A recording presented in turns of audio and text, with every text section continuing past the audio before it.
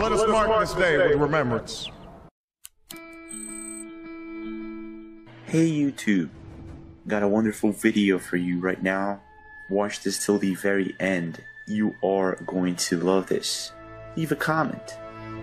And have a wonderful weekend.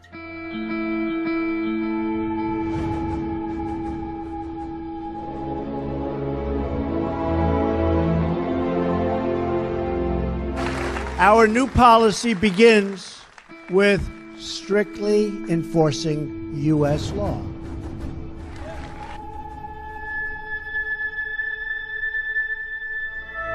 Strictly enforcing U.S. law.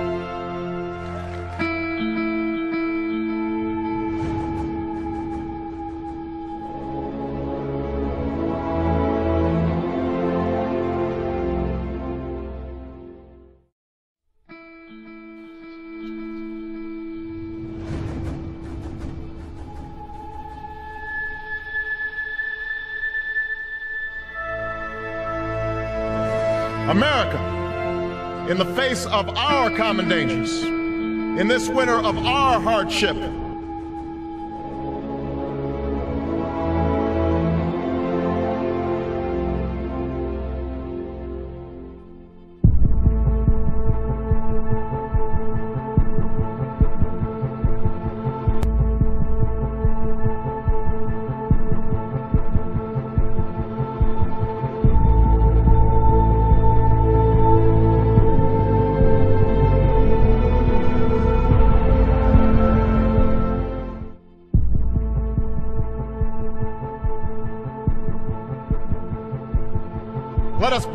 once more the icy currents and endure what storms may come. Let it be said by our children's children that when we were tested, we refused to let this journey end.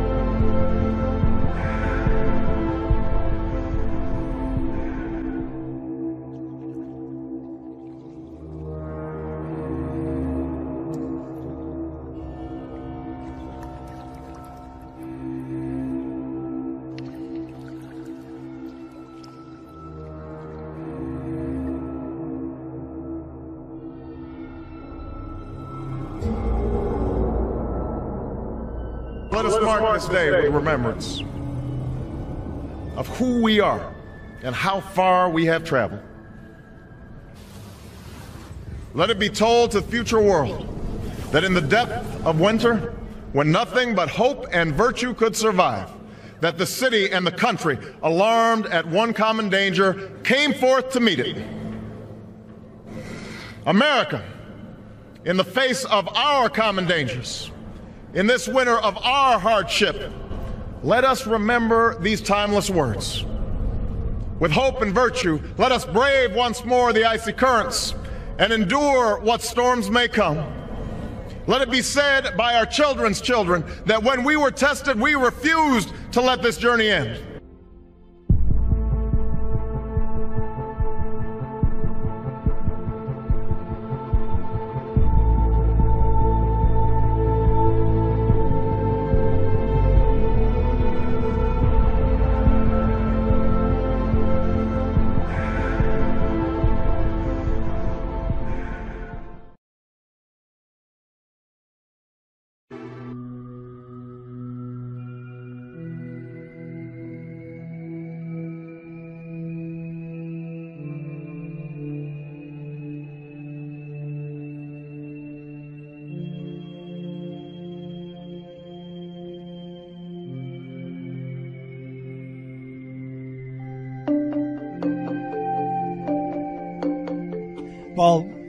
We don't get up till late because we're retired. Nine o'clock, I heard a knock on the door. It was a chap from next door. He was out watering his tomato plants, and he said, "You want the good news, or the bad news?" I said, The good news is he's got a swimming pool. "Yeah," and he come out and got a hole in the ground, you know.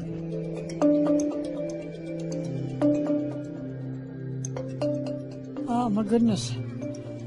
It's hard to explain. You know, a hole in the backyard. and as we've been out, as we've been out here watching it all morning with our neighbours, it's got bigger and bigger and bigger. When's it going to stop? Um, what it is is old workings, old mine workings. We've identified the fact that there's a shaft put in here many, many years ago, and um, we've been in contact with the mines department. They're sending a team up here.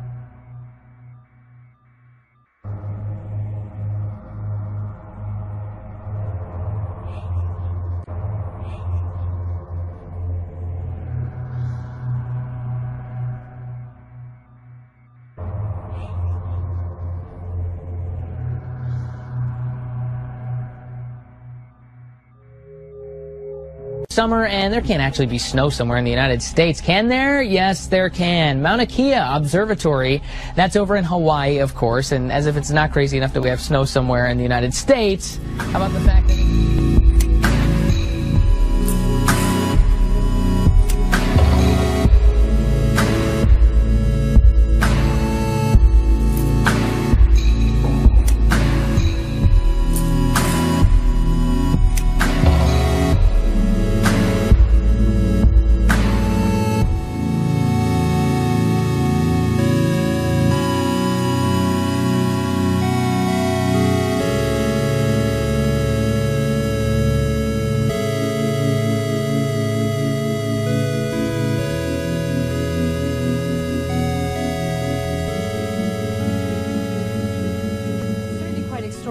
Becky, because the weather wars never seem to end in this country for weeks, even months. People in this country have been really just praying for one thing, and that is for the monsoons to arrive, because after two years of drought, their farmland has been desecrated. There's been this heat wave that's been sweeping across the country, killing hundreds of people. And now it's the monsoons that are killing people. As you mentioned, 90 people killed just in a matter of 24 hours, mainly in this one state of Bihar. Most of the people who died were farmers because this is a time uh, as the monsoons arrive when farmers are out planting. Uh,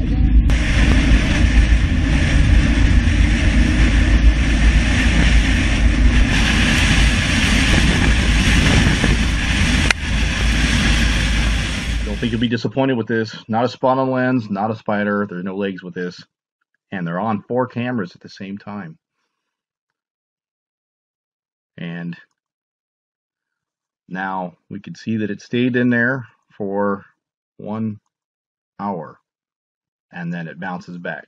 Again, it is in a orbit around Nibiru that is looks appear to be coming and going. So it's going above and below the horizon as this thing is coming at us and away from us as it approaches us and then retreats as it goes around Nemesis. Next, I'm going to show you, please pay attention to the time here. This is the second at the same time. No, this is over Italy, and now we've got Switzerland at the same time. We've got the same object. And let me do the time lapse on this one. Yes. Look how big it's getting. You can start to make out the plasma tail. And the camera setting here looks like uh, 400 ISO. Not quite visible with naked eye. Look at that. That thing's just getting bigger. And you can almost make out the redness of this thing. Oh my gosh. I've never seen this thing so big. It's getting close. Wow. We continue running the time lapse here, and then it disappears, and it reappears again. Again, it's the shadow. It's still facing the northwest. The actual planet is in the north southeast. What you see here, everybody, is a thing called SunCalc. And what it does, what this program does, is it shows you where the sunrise and the sunset should be relative to your position. So, an example here, this is where I am right now, where this red dot is. This is where I'm located. And basically, it's saying that the sunset should happen at this, or the sunrise should happen on the yellow line, and the sunset sunset should happen on this red line. Okay. Now, here is the important thing that I want to bring up right away this morning. The North Star, first of all, was off by three to five degrees, as confirmed by about 30 subscribers over the weekend. So anybody that knows where the North Star should be based on fixed points uh, on the ground, like me, um, my story was I, I, I, go out and I've been checking the North Star's position for three years. It has not changed for three years, okay? It stays in the same place winter, spring, summer, and fall. It's always in the same place, okay? The way you can find the North Star is you take the two ends of the Big Dipper and draw a line so our position, fixed position relative to the North Star right now is off by three to five degrees to the west, Wayne. Or to the east. To the east. Yes. In my observation, and I have a solid one, and then I've gotten confirmation from several different people. So what does this mean? Why is Steve so freaked out about the North Star? The reason Steve is freaked out about the North Star is it's the one fixed point that we all can, everybody in the earth, can validate the North Star being in a position if they have two fixed points on the Earth. Okay? I have now enough information to tell you from astrophysicists, astronomers, and people that have given us feedback at WSO, they all tell me that we're correct, Wayne. That the North Star has moved three to five degrees to the east. The implications of this, Steve, is um, well, it's very disturbing. Yes. The second point I wanted to bring up, and that's what the SunCalc thing is for, is to say that you see that red that red line, Wayne, that points off at about rough. This is this is a rough 45 or just off 45 degree angle here. See that? I see it, Steve. From sunrise to sunset. So it is normal for us to see the sun setting in the northwest, and it is it's normal for us to see it rising in the northeast. First of all, that's not unusual for this time of year, you guys. Okay. What is unusual though, and I, if you can, can you see my little hand? Yes. When I looked at the sunset for the last two nights, the sunset has been here, where my hand is. Hmm. About 22 degrees, Wayne. Which, by the way, Steve, as you know, when you called me on Saturday, and I immediately went in and checked uh, my compasses, um, I registered and recorded the same anomaly. And here in the Denver area, we were off by about oh 22 to 27 degrees to the northwest and it didn't change in fact uh, steve i posted on my youtube channel um, a recording of where i actually filmed the needle of the compass actually oscillating back and forth And, and that was saturday yeah, and by the way, and I won't I won't bore everybody with the with the data, you know, because it is pretty boring data, but that has been confirmed by several as well. That did after we talked on Saturday, I reached out to a couple of the other subscribers, and they all confirmed that they were also having the same magnetic anomaly. I actually know a pilot friend who told us yesterday that he's a private pilot that he can no longer rely on his compass. Um, I said, "Well, how do you get from point A to point B?" He says that they they use um, a gyro uh, software that is more directly linked to GPS as opposed to trying to follow magnetic north. Yeah, let me, uh, having been an ex avionics guy, I can give you a little insight into that. There are th- there's a ca- thing called a gyroscopic internal navigation system that uh, yeah. So those those those systems don't even require GPS, by the way, um, Wayne. Well, thank you. See, I'm a novice. I you know I I, I ride in them. I don't drive them. Right. No, no, that's okay. I, I it's a very strange thing that I'm an expert in it because the Air Force made me one. Good. So we used to navigate with a primary. Our primary navigation before GPS came online was a thing called TACAN. The the civilian world has a similar thing, and basically those are fixed points on the Earth that transmit signals that basically are waypoints. Okay, across the country. So you can know, navigate um, as a commercial military or as a military pilot. You can navigate by TACAN. You can navigate by com- uh, compass. You can navigate with uh, yes, and then internal navigate. And then the last thing is in, called internal navigation system, which is a GP is a gyroscopic uh, device that uses the Earth itself as its waypoint but doesn't rely on celestial um, observations or anything like that. It just knows where you are relative to fixed. Hi. So this is Solar System Scope, and we can see this is the actual time and planet we're at right now with our universe. I'd like to show you a couple things where we're at and where these objects objects actually are. As I said before, that so if you click on this little Earth, click on here, and then we can see the different views and most of these were over Italy and Germany. And we can see when we click on the scope here, I said that we were looking at the shadows to the northwest, that would have been right about here. And at this time, so everything I'm doing is all happened within 30 minutes. It is 6:40 Pacific time. So I'll leave a link in the description because it's happening now. And so the southeast is where this whole thing's going as it settles down, I think. Just about in here somewhere. It's probably, again, this is our horizon. This is our Earth's ecliptic plane. Through the plasma field, which is going to stop the Earth, pole shift. The rich people are going to hide in their cities which a lot of Christians believe that this is going to be a six seal judgment, and I'm one of them. And how can I stay calm? Because the world is not falling apart. Everything is falling into place. Just the way God told you it was. So I wanted to show you one other planetary alignment that I think is uh, important. And, you know, I'm just looking at the elections, predictive programming, Neptune, the signs. Uh, I look at Bible prophecies where I get these alignments. And one alignment that I find very interesting is the Sun, Moon, Earth, Neptune in the Aquarius on August 31st.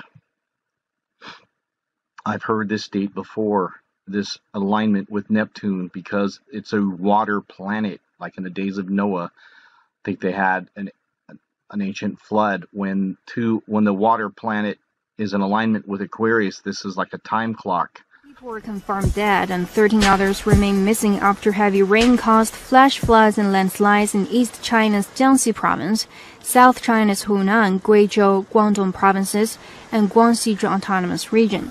According to the local government, as of 6 p.m. on Wednesday, floods had left three people dead in Jiangxi.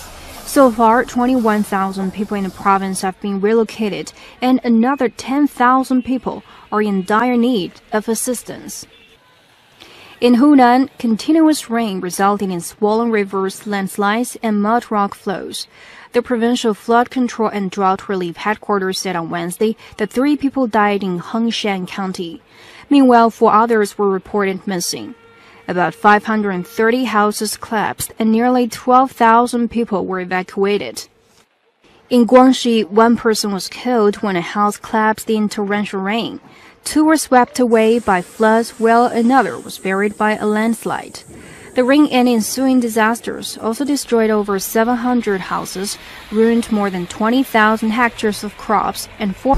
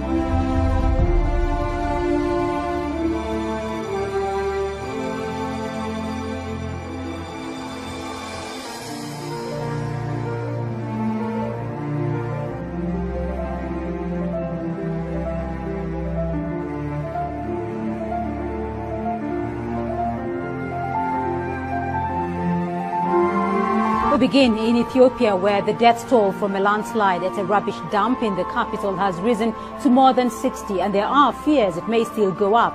Rescue officials are still searching for dozens of bodies trapped under the Koshe landfill. CGTN's Girum Chala has this update from Addis Ababa. Dozens of makeshift homes are buried under the mountain of garbage behind me. People have been dumping their rubbish here for decades. It's believed around 150 people were here when the landslide took place on Saturday night.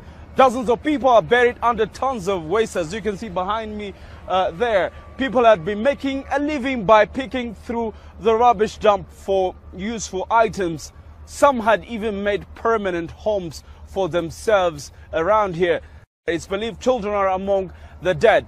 Search and rescue operations continue here, but rescue workers face a tough task bulldozers have to carefully remove the rubbish uh, over there. The heavy machinery could cause further slides as well. For now, they operate in the hope of finding survivors. Tornado is touching down in southwest Florida. This happened overnight, and this was the scene in Punta Gorda where an EF1 tornado touched down on Aspen Road East. The storm going through one family's yard, destroying their barn, sending chunks of metal flying, even cutting their horses loose. A lot of memories of this barn. Had it ever since I was 13. Now it's gone. Went out with him. We and the other horses were loose, running around, and it's very dark. Well, the storm also flipping the family's truck over on its head. All the family's animals are expected to be okay, though one duck was lost. The family says they're working to clean up the mess and rebuild.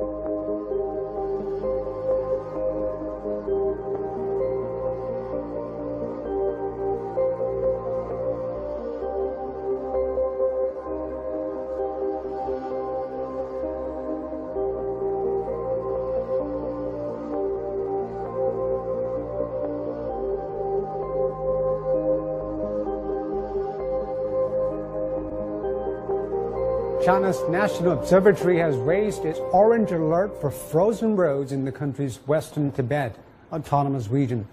A snowstorm and frigid temperatures have led to road and highway closures. A blizzard swept the Chikaze, Ali, and Shannan areas on Friday and Saturday. Snow drifts were 30 to 50 centimeters deep in the urban areas of several counties in Chikaze. Well, the power supply in downtown Keelung was also temporarily cut down. Local authorities are clearing the roads, so they also distributed food and livestock feed in advance to help villagers brace for the snowstorm. Maurice Christine, good evening. It is low tide here, but high water on the Great South Bay, where streets flooded and folks were forced to stay inside. Cars caught in salt water, a big problem. The rainy, wintry mix melted, and even several hours after noon's high tide here on Suffolk's South Shore, streets in low lying areas were impassable. All eyes are on that massive storm. Take a live look at Wrigley Field in Chicago. The snow starting to come down right now. The roads messy there this morning. They're bracing for up to half a foot of snow today. Highway havoc in the Midwest, a late winter storm slamming millions from Iowa to Minnesota. Awful. I didn't expect it to get this bad. It's intense. So crazy. Plummeting temperatures, freezing freeways, sending cars sliding off the road and into each other.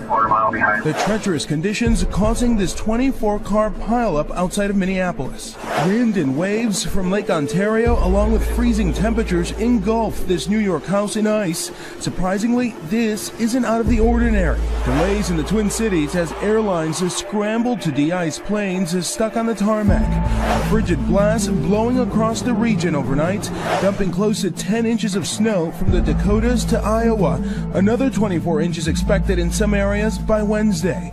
But merciless sub-freezing temperatures disastrous near Detroit. 65,000 people in the area still without power. And officials now say carbon monoxide poisoning from generators have left two people dead. In this northern Detroit home, a mother and her two young children hospitalized. This morning, across the Northeast, 60 million residents are bracing for the winter wallop as it barrels.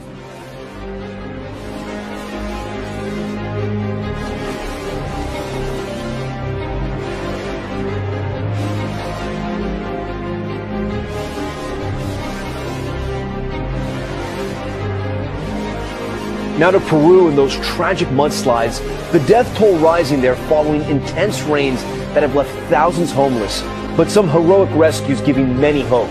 Here's ABC's Marcy Gonzalez. In the fast moving, muddy water and piles of dangerous debris, a woman almost washed away. As she tries to free herself, her hair seemingly gets stuck before she finally pulls herself to safety. One of many lives narrowly spared from Peru's raging flooding and mudslides that officials say have killed more than 70 people so far this year and left more than 70,000 people homeless. Tonight, as intense downpours overwhelm towns and send rivers pouring over their banks, desperate rescues are underway. Near the normally dry capital city of Lima, dozens of people crowd onto rooftops above washed out streets. Zip lines being used to bring families and pets over fast rising water. Others are forming human chains to get to dry ground. Tonight, half of the country is declared a state of emergency. Officials say this is the worst flooding in Peru in nearly two decades, with much more rain still expected.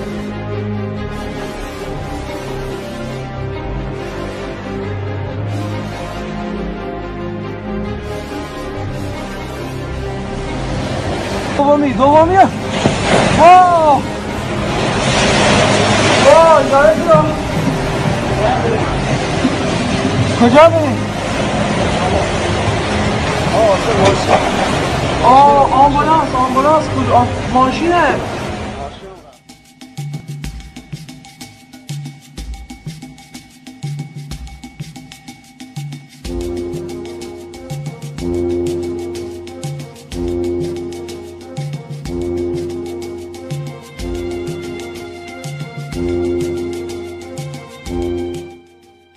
Started taking everything up. My trash cans were flying everywhere. My tent was flying everywhere. I was kind of hanging on it, like almost like a monkey in a sense, trying to hold everything down.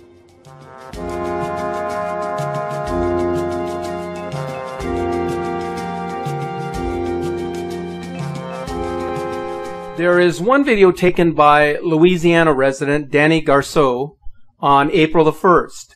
The video has garnered a great deal of attention.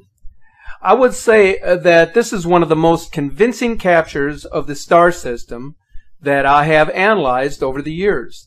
The brown dwarf in a very rare appearance as it orbits our sun in retrograde fashion.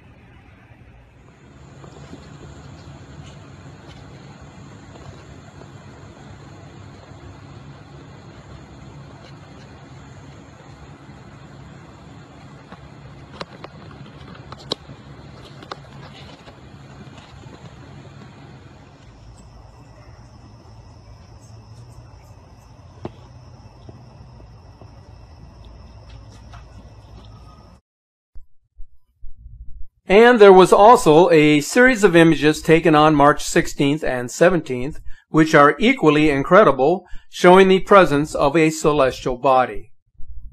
These images are posted on our Facebook page and can be viewed close up.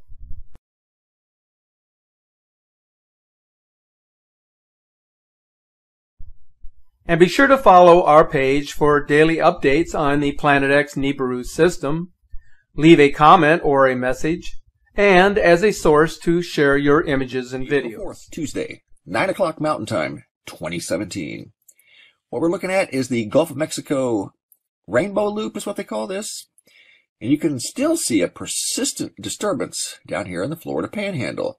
It's slowly moved across Louisiana, southern Mississippi, Alabama, and it's been hitting Florida and Georgia the past couple of days. And it was so intense in Georgia yesterday that they've gone ahead and declared ahead of tomorrow's storms because it's predicted to cause uh, a lot of damage and destruction in southwestern Georgia tomorrow that they've declared a state of emergency right here in uh, Albany, or actually south of Albany, in Dougherty County. A full-blown state of emergency in Dougherty County ahead of the severe weather, and it hasn't even happened yet. And it's because the weather that they got yesterday was so bad, so strong, so intense, that they're not taking any chances. Here's what the uh, local news had to say about it right here. And you can see the maps of what they're predicting for tomorrow. They are in a uh, moderate to high tornado uh, path right through here, and Albany's right in the middle of it. Check it out. Here's what they've got to say state of emergency has been declared for Dougherty County ahead of tomorrow's storm. The National Weather Service shows Dougherty County could possibly see strong, long track tornadoes with destructive wind gusts as high as 70 miles per hour. Now, these weather events could happen throughout the day tomorrow. And we want to tell you more on the details on what exactly a disaster declaration means. Number one, the county emergency operations plans will be activated. Number two, the emergency operations ordinances that Dougherty County commissioners adopted will be operative. It's getting just off the charts. Everywhere you look around the globe, there's some sort of um, wild weather going on. If it's not giant hail, it's strong winds, straight line winds, dust storms, tornadoes, floods, landslides, mudslides. It just goes on and on and on. And it doesn't stop. It only seems to intensify. So there's already a state of emergency in a pl- in uh, in place in Dougherty County, which is south of Albany, Georgia, right here for tomorrow. And the storms haven't even hit yet, but they're brewing and they know it. And based off of what it did yesterday, they're not taking oh. any chances. Another sign that this is in play. Record snow, blizzards, Newfoundland, eastern Canada, getting over 120 centimeters of snow. And for those of you in the U.S., 2.5 centimeters equals one inch. A couple images for you here.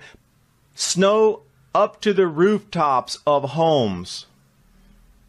Now, in Canada, when it's reported in the news as an unbelievable amount of snow, and this is in Gander, which also had record snows two years ago. Seems to be a trend in that area. Here's the actual depth of some of the snow on top of the cars. And all of you hearing about the melting sea ice, oh, it's going to melt in and we'll use all the Northwest Passage, and it's definitely disappearing, the sea ice, or so you've been told. Atlantic Ferry, stuck in sea ice off Cape Breton. This off the IceAgeNow.info newsfeed. Nova Scotia Ferry, stuck. They're not really sure when they can get it out. They're sending an icebreaker right now to try to escort it out of this slush pack ice image here for you of the escort ship trying to break it free right now and cut a channel through there. Cape Breton here on the map for you, far eastern Maritimes, bit north of Halifax, Nova Scotia. Satellite image for you here. If truly all the sea ice was melting, you think further south latitudes would be the first place that it would disappear, not in the Arctic Circle, which they keep claiming. How can there be so much sea ice this far south if all the ice is disappearing in the north? How can there still be ice further south? This is just simple, commonsensical stuff.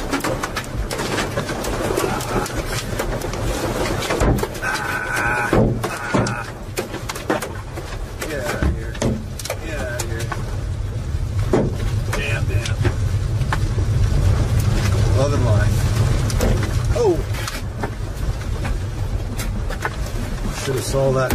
Oh! Where are my safety glasses? Ah, yeah. Damn, those came out of nowhere. Sucker that got me.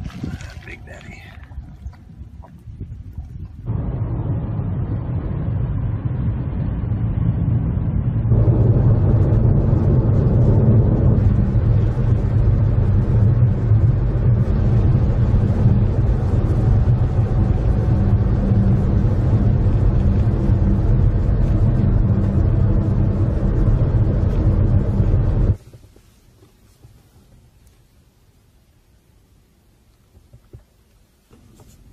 Well, guys, got three tornadoes today and some beautiful lightning and destroyed another window with hail. But more important news, we lost three storm chasers today. Uh, Kelly Williamson, Randy, the Storm Wranglers were in an accident with uh, another storm chaser named Corbin from Arizona, I believe. I didn't know him, but Kelly and I were friends and uh, used to hang out and underneath the storms and talk about everything except the storms. I remember being in New Mexico with him last year and we were looking for arrowheads and didn't find any, but uh, we talked about getting barbecue and beer all the times, but we kept missing each other.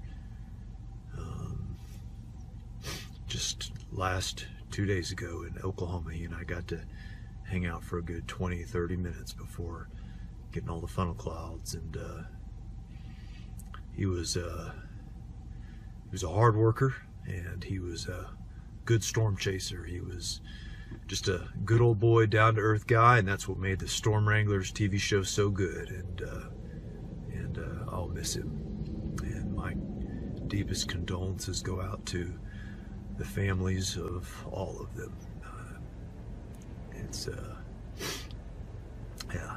So I don't know what else to say, but rest in peace, guys.